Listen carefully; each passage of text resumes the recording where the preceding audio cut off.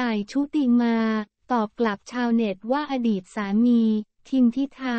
และลูกสาว น้องทิพิมชวนไปเดทแล้ว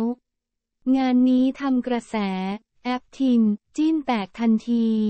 สำหรับทิมทิทาลิ้มเจริญรัตหัวหน้าพักก้าวไกลที่ได้คะแนนเสียงจากประชาชนมากถึง 14 ล้าน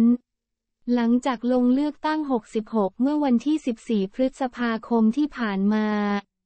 ซึ่งตอนนี้ต้องบอกเลยว่าถูกจับตามองเป็นพิเศษไม่ว่าจะทำอะไร และไปที่ไหนก็มีแต่คนมาขอถ่ายรูปตลอดทำให้กระแสตอนนี้มาแรงไม่แพ้ซุปตาเลยก็ว่าได้ โดยทางด้านทิมพิธาเคยแต่งงานกับอดีตภรรยาต่ายชุติมาและได้มีลูกสาวด้วยกันหนึ่งคนคือน้องทิพิม ซึ่งภายหลังต่ายชุติมาทิมพิธาเลิกกันไป แต่ทั้งคู่ก็ได้สลับกันทำหน้าที่พ่อและแม่ และในวันสำคัญก็นัดเจอกันเรียกได้ว่าเป็นครอบครัวที่อบอุ่นมากๆ ด้วยความฮอตของทิมพิธาทำให้โดนจับคู่กับนางเอกตัวแม่ แอฟทักษอรภักดิ์สุขเจริญหลังทิมพิธาแอฟทักษอรเจอกันในงานคอนเสิร์ตพร้อมกับลูกสาวของทั้งคู่ทำเอาหลายคนเชียร์หนักมาก